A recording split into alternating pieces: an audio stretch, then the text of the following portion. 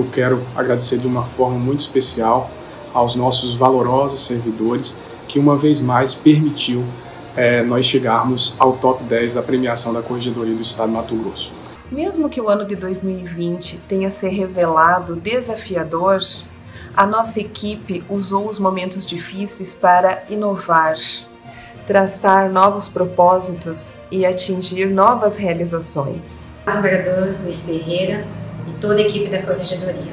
Ao longo desses últimos meses, o senhor e a sua equipe vêm nos parabenizando pelos resultados que alcançamos nas nossas unidades. Hoje é a nossa vez de dar parabéns ao senhor e a toda a sua equipe pelo apoio, segurança e tranquilidade que tem nos repassado para que conseguíssemos alcançar esses resultados.